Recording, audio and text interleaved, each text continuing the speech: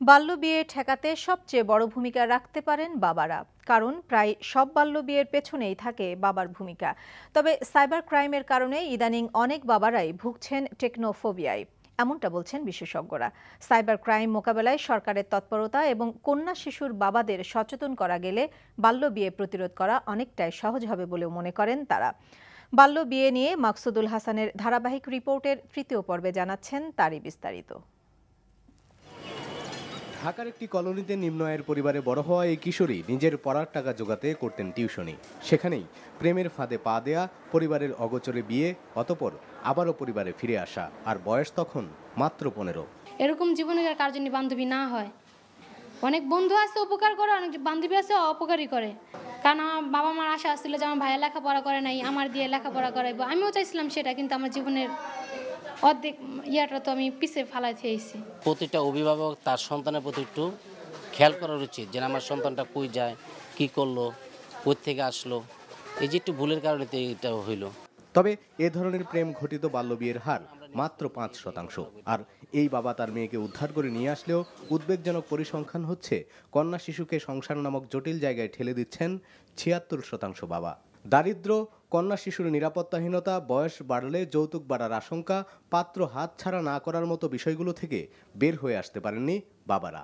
নতুন নতুন চ্যালেঞ্জ কিন্তু তৈরি হচ্ছে সাইবার ক্রাইম অনেক বাবাই হয়তো কনফিডেন্ট যে তার মেয়েকে পড়ালেখা করাবেন। এখন স্কুলে যদি যায়, তাহলে তো একটা কোনো একটা দুষ্ট ছেলে তার মোবাইল ব্যবহার করে তার একটা ছবি তুলবে এবং সেখান থেকে তারা হয়তো ইন্টারনেটে সেটাকে বাজেভাবে উপস্থাপন করবে এবং তাতে একটা ব্যাপক সম্মানহানি হবে।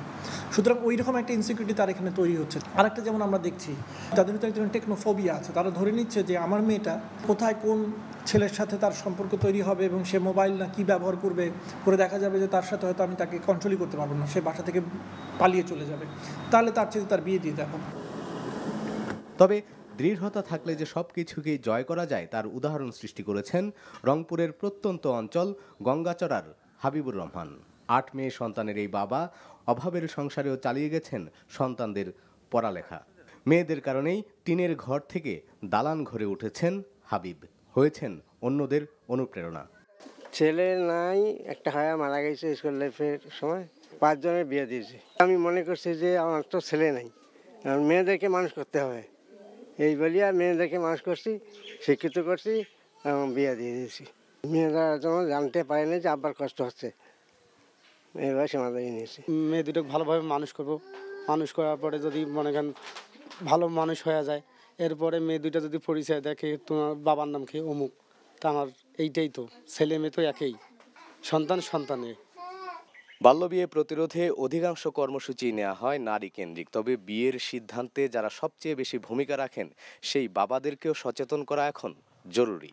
গবেষণা বলছে আদর্শ বাবাদের দৃষ্টান্ত বদলে দিতে পারে সমাজকে। কারণ প্রচার প্রচারণা ও উদ্বুদ্ধকরণের মাধ্যমে ইতিবাচক পরিবর্তন আসছে কন্যা শিশুর প্রতি পরিবারের দৃষ্টিভঙ্গির।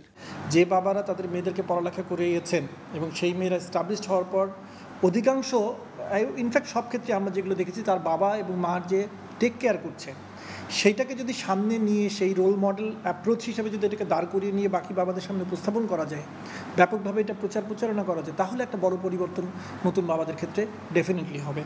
আর তাতে বাল্যবিয়ের উদ্বেগজনক পরিসংখ্যানগুলো নিচের দিকে নেমে আসবে বলেও মনে করেন সংশ্লিষ্টরা। Maksudul Hasan NTV news Rangpur.